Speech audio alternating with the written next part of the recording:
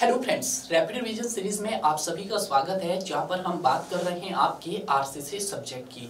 आज का टॉपिक भी आपके लिए कहीं ना कहीं काफ़ी इंपॉर्टेंट है, जहाँ पर हम बात करेंगे डिज़ाइन मिक्स से रिलेटेड इससे प्रीवियस में आपने कवर किया था कि सर नॉमिनल मिक्स क्या होता है और डिज़ाइन मिक्स क्या होता है। अब यहाँ पे जो क्वेश्चन उठता है कि सर डिज़ाइन मिक्स क्या है। जब भी हम किसी डिज़ाइन मिक्स की बात कर रहे होते हैं तो उससे पहले हमें कुछ कॉमन डाटा रिक्वायर्ड होता है। क्योंकि जब भी आप किसी डिज़ाइन मिक्स की बात कर रहे हैं तो वहाँ पे आप ऐसा नहीं कर सकते हैं कि सर डायरेक्ट ही आप डिज़ाइन मिक्स चालू कर दें। आपको क्या करना होता है? कुछ बेसिक और कॉमन डाटा होता है जो आपको पहले से ही रिक्वायर्ड होना चाहिए। अब ये कौन सा डाटा रहता है? इन सभी डाटा के बारे में यहाँ पे हम डिस्कस करेंगे। क्लियर है? अब जब हम कॉमन डाटा की बात करते हैं तो सबसे पहले आपको पता होना चाहिए, सर ग्रेड ऑफ़ सीमेंट क्या रहने वाला है? देखिएगा, यहाँ पे मैं जो आपको डिज़ाइन मिक्स की बात करूँगा, वो मोस्टली मैं एम ट्वेंटी ग्रेड आपको उसके स्टेप्स भी बताऊँगा और उसका कैलकुलेशन भी बताऊँगा। स्टेप्स सबके सेम रहने वाले हो, चाहे एम ट्वेंटी ग्रेड हो एम ट्वेंटी फाइव हो एम थर्टी हो या एम थर्टी फाइव हो। बट जब हम उसके कैलकुलेशन की बात करेंगे तो कैलकुलेशन में मैं आपको एम ट्वेंटी ग्रेड का कैलकुलेशन बहुत इजिली करवाऊँगा। क्लियर है? तो पहले कॉमन डाटा देख लेते हैं। कॉमन डाटा मिलेगा तो हम आगे का काम करेंगे। ठीक है? ग्रेड ऑफ़ कॉन्क्रीट में हम कौन सा यूज़ कर सकते हैं? मैंने आपको अभी बताया। सर, आप M20 यूज़ कर सकते हैं। ठीक है M20 से एबो यूज़ करते हैं। आप M25 यूज़ कर सकते हैं। जो भी आपको यूज़ करना है, वो आप यूज़ कर सकते हैं। ये आप सभी जानते हैं कि सर एम क्या रिप्रेजेंट करता है? सर एम रिप्रेजेंट करता है आपके पास मिक्स को रिप्रेजेंट करता है। ये 20 और 25 क्या रिप्रेजेंट करता है? ये आपको करेक्टरिस्टिक्स कंप्रेसिव स्ट्रेंथ रिप्रेजेंट करता है आफ्टर द 28 डेज़ और ये जो स्ट्रेंथ होती है, इसको हम चेक कहाँ पे करते हैं सर अपने क्यूब टेस्ट करते हैं। क्यूब टेस्ट में हम क्या लेते हैं? तीन क्यूब लेते हैं। उन तीनों ही क्यूब का एवरेज लेके उनकी स्ट्रेंथ को फाइंड आउट करते हैं आफ्टर ट्वेंटी डेज़ पर। क्लियर है? जो आपके पास किसमें आती है सर या तो मेगा पास्कल में होगी हम उसको न्यूटन पर एम एम स्क्वेयर बोलेंगे। ठीक है? उसके बाद आता है सर टाइप्स ऑफ़ सीमेंट यहाँ पे जब भी हम डिज़ाइन मिक्स की बात कर रहे होते हैं तो यहाँ पे सर कौन सा मिक्स हम यूज़ कर रहे हैं? तो देखिएगा जब हम मिक्स सॉरी सीमेंट यूज़ कर रहे हैं तो यहाँ पे जब हम सीमेंट की बात करते हैं तो सर यहाँ पर आप ओपीसी सीमेंट यूज़ करेंगे, जो मैंने आपको ऑलरेडी बताया। अब जब यहाँ पे हम ओपीसी सीमेंट यूज़ करेंगे तो ओपीसी सीमेंट के भी क्या है सर? आपके पास डिफरेंट डिफरेंट ग्रेड है। बिल्कुल है सर। कौन कौन से ग्रेड है? तो जिसमें हम बात करते थे सर, आपके पास एक होता है सर ओपीसी 33 होता है और एक सर, आपके पास ओपीसी 43 होता है और एक हमारे पास सर ओपीसी 53 होता है। ये डिफरेंट ग्रेड होते हैं। यहाँ से भी क्वेश्चन फ्रेम किया जाता है कि, सर, इनमें से स्टैंडर्ड कौन सा यूज़ करेंगे? अब हम डिज़ाइन मिक्स की बात करेंगे तो हम स्टैंडर्ड ही यूज़ करेंगे डियर तो स्टैंडर्ड में आप यहाँ पर ओपीसी 43 यूज़ करेंगे। ये स्टैंडर्ड है। ये क्वेश्चंस पूछे जा सकते हैं आपके इंटरव्यू में। एक और क्वेश्चन सर, ये 33 या 43 या 53 क्या रिप्रेजेंट करता है? ये रिप्रेजेंट करता है आपके पास compressive strength of cement after a 28 days ठीक है? अब इस स्ट्रेंथ को हम मोल्ड टेस्ट करते हैं। अब जो मोल्ड का साइज़ होता है, यहाँ पे point seven zero into point seven zero into point seven zero centimetre होता है। ध्यान दीजिएगा, यहाँ पे मोल्ड टेस्ट होगा और यहाँ पे क्यूब टेस्ट होगा। क्लियर है? ये आप जानते हैं। उसके बाद क्वेश्चन ये उठता है सर नेक्स्ट कि जो maximum nominal size of aggregate है, वो यहाँ पे हम कितना यूज़ करेंगे? तो यहाँ पे जो nominal maximum size of use करेंगे, वो रहेगा आपके पास सर 20 एम mm यूज़ करेंगे। कितना करेंगे सर? बाई 20 एम mm का यूज़ करेंगे। क्लियर है? उसके बाद आता है सर एक्सपोजर कंडीशंस देखिएगा, जब भी हम एक्सपोजर कंडीशंस की बात यहाँ पे करेंगे तो आप फॉर एग्जांपल कोई भी कंडीशन हो सकती है, आपके पास सिक्स टाइप की एक्सपोजर कंडीशन होती है mild moderate severe very severe extreme clear है ये आप जानते हैं? तो हम सपोज़ करो हमारे पास यहाँ पे कंडीशन क्या हो गई है, सर? माइल्ड हो गई है। सर, ये कहाँ से पता चलेगा कि कंडीशन माइल्ड है? तो इसके लिए आपको जाना होगा I S four five six table three में जाना होगा। कहा जाना होगा सर? आपको I S four five six table number three पे जाना पड़ेगा। ठीक है, आपने क्या करना है, अपना कोड उठाना है I S four five six और आपको टेबल थर्ड पे जाना है। क्लियर है? उसके बाद आता है कि सर मिनिमम सीमेंट कंटेंट कितना होना चाहिए? देखिएगा एक मिनिमम क्राइटेरिया भी पता होना चाहिए और मैक्सिमम क्राइटेरिया भी पता होना चाहिए।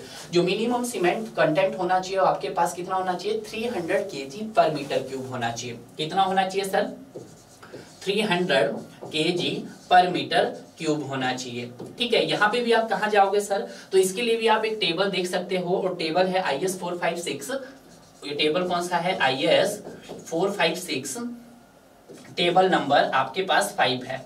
ठीक है, ये मैं इसलिए बता रहा हूँ ताकि आपको समझ आ जाए। क्लियर है? उसके बाद आता है वर्केबिलिटी ऑफ़ स्लम्प यहाँ पे जो वर्केबिलिटी ऑफ़ स्लम्प का जो क्राइटेरिया रहेगा, वो कितना रहेगा सर? आपके पास वो हंड्रेड एम mm रहेगा। कितना रहेगा सर? वो हंड्रेड एम mm तो यहाँ पे आप बता सकते हो कितना रहेगा, सर? 100 M mm.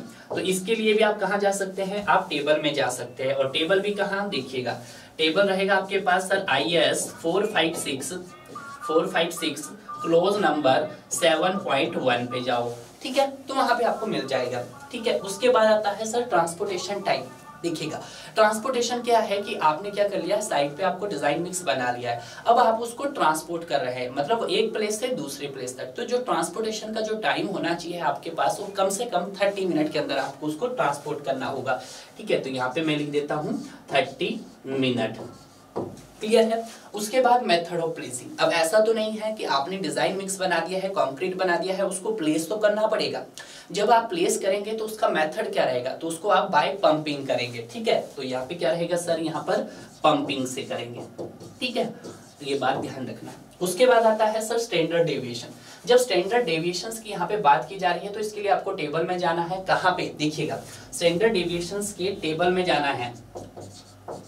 टेबल में सबसे पहले तो कोड पता होना चाहिए। तो कोड रहेगा यहाँ पे I S one zero two six two ठीक है? यहाँ पे जाना है और टेबल नंबर आप दो पे जाएँगे कहा जाएँगे सर? टेबल नंबर टू पे। ध्यान दीजिएगा, मैंने क्या कहा कि हमें सर स्टैंडर्ड डेविएशन कहाँ से चेक करना है? तो आपको जाना है I S one zero two six two जो किसका कोड है? डिज़ाइन मिक्स का कोड है। मैंने आपको बताया था कि एक नॉमिनल ग्रेड ऑफ़ कंक्रीट होता है डिज़ाइन मिक्स होता है। नॉमिनल जो रहता है वो आपका बेस्ड होता है आपके एक्सपीरियंस पे, ठीक है? और जो आपका क्या होता है, डिज़ाइन मिक्स होता है, वो बेस्ड होता है। कोड, और कोड क्या है? One zero two six two, ठीक है? जो टेबल नंबर दो पे मिलेगा। जैसे फॉर एग्ज़ाम्पल मैं एम ट्वेंटी कर रहा हूँ तो एम ट्वेंटी का स्टैंडर्ड डेविएशन कितना है सर? आपके पास फोर पॉइंट ज़ीरो न्यूटन पर एम एम स्क्वायर ये रहा आपका, ठीक है? तो ये बात आपको ध्यान रखनी है। क्लियर है? टोटल कितने पॉइंट्स है? नौ पॉइंट्स है और कहीं ना कहीं किसी ना किसी फॉर्मेट में क्वेश्चन से पूछे गए हैं। क्लियर है? नेक्स्ट देखेंगे यहाँ पर sir types of coarse aggregate कि सर हमको कौन सा कोर्स एग्रीगेट यूज़ करना है? तो यहाँ पे क्रस्ट एंगुलर एग्रीगेट यूज़ करना है आपको। कौन सा करना है sir crushed angular aggregate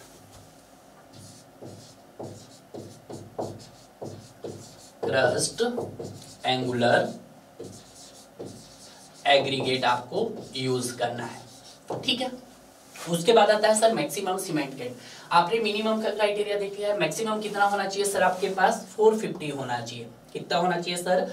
ये होना चाहिए आपके पास 450 केजी पर मीटर क्यूब एक मीटर क्यूब में कितना होना चाहिए? ज़्यादा से ज़्यादा 450 होना चाहिए। इसके लिए भी आप टेबल देख सकते हैं। I S four five six clause number 8.1 something है। ठीक है, मैं एग्जैक्ट नहीं बता पा रहा हूँ बट कोई बात नहीं, ये होगा I S four five six clause number eight point eight point two four two something है। ठीक है, ये आप देख लेना चेक कर लेना।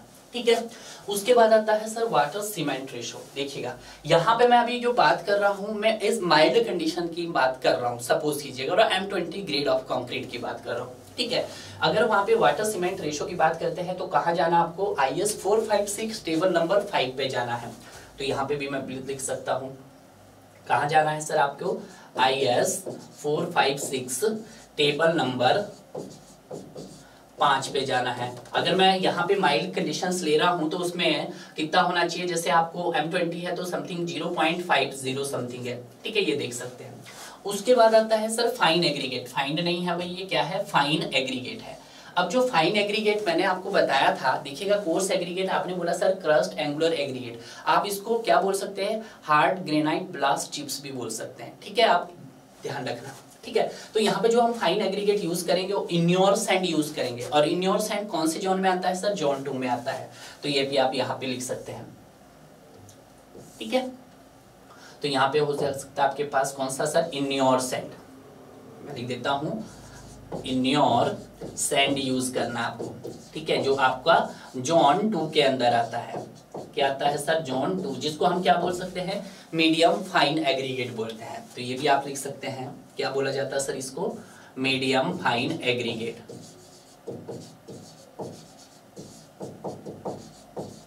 ठीक है? तो ये तो है आपके पास जो कॉमन डाटा कि अगर आप कभी डिज़ाइन मिक्स बना रहे हैं तो उस डिज़ाइन मिक्स से पहले आपको कौन कौन से डाटा रिक्वायर्ड होने चाहिए डियर क्लियर है? अगर आपको वीडियो अच्छा लगा तो वीडियो को लाइक एंड शेयर कीजिए।